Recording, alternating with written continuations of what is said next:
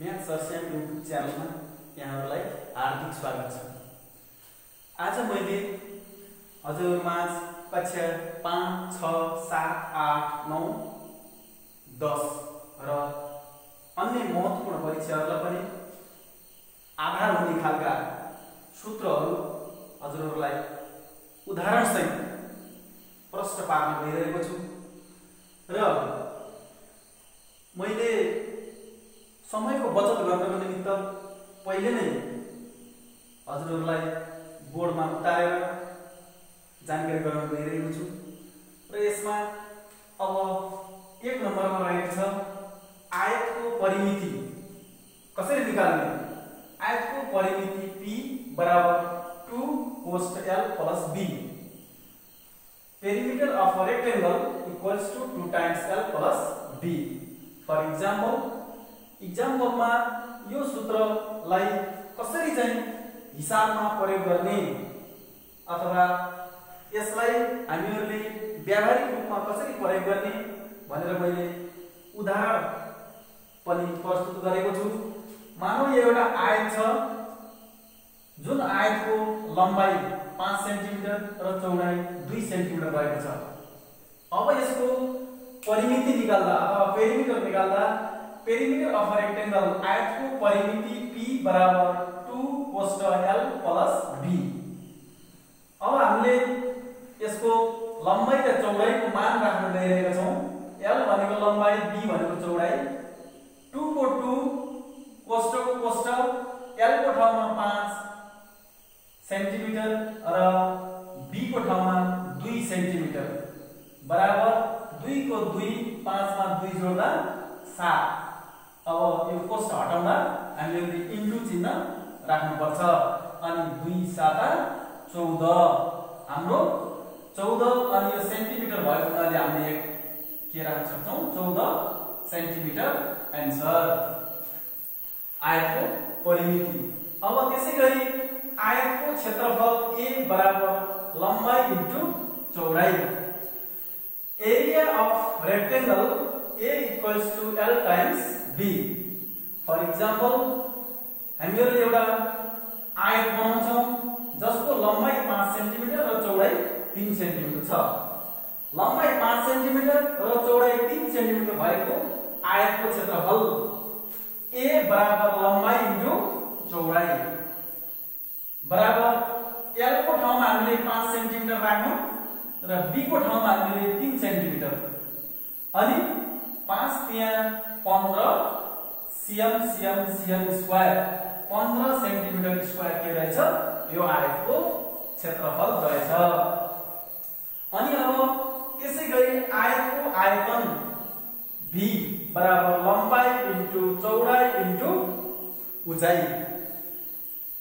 अब यो volume of rectangle v equals to l times b times h यसको उदाहरण हामीले मानव एउटा यो आयतको लम्बाइ चार सेन्टिमिटर छ चौडाइ तिन सेन्टिमिटर उचाइ छ दुई सेन्टिमिटर छ।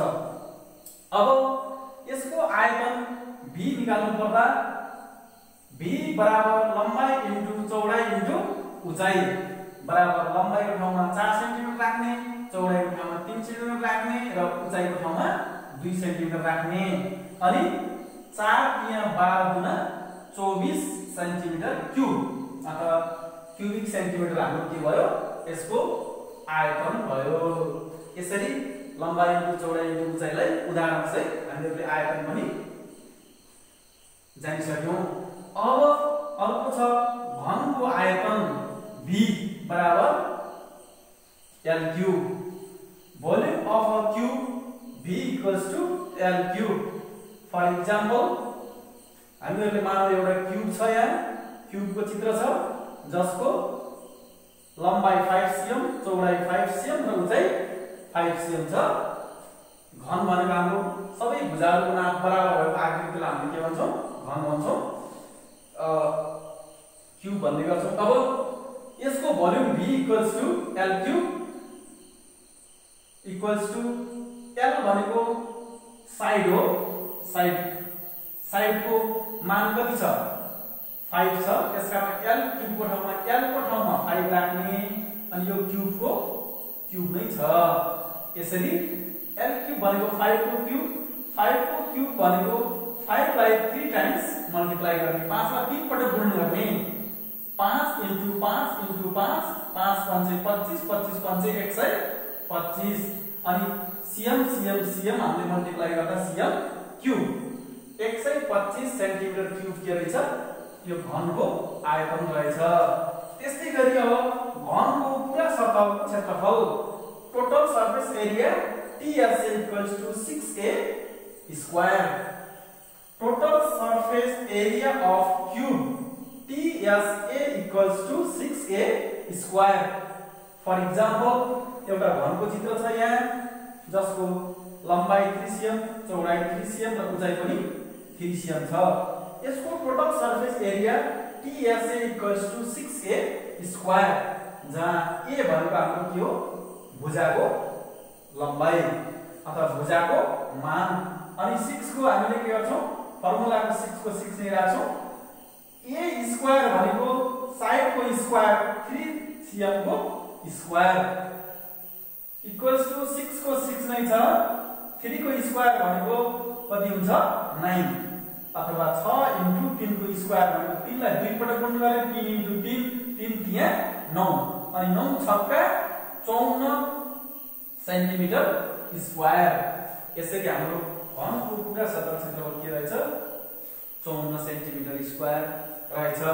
अनि छैटौँ नम्बरमा छ सडमुखाको पुरा सतहको क्षेत्रफल total surface area equals to two Into LB plus BS plus LX total surface area of a cuboid TSA equals to 2 times LB plus BS plus LS.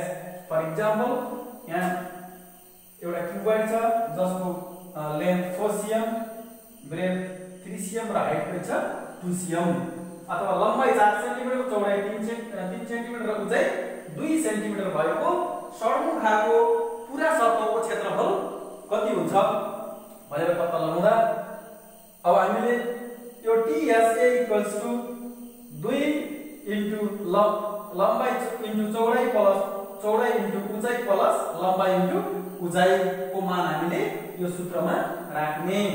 टुको to कोष्टको कोष्ट एलको ठाउँमा फोर इन्टु बीको ठाउँमा थ्री प्लसको प्लस बीको ठाउँमा three into एचको ठाउँमा to plus एलको ठाउँमा four into एचको ठाउँमा to यसरी एलको ठाउँमा four एचको ठाउँमा to अनि बराबर दुईको दुई अनि चार तिया चार तिया बाह्र तिन दुना छ चार दुना आठ बिचमा प्लस चिन्हको प्लस चिन्ह।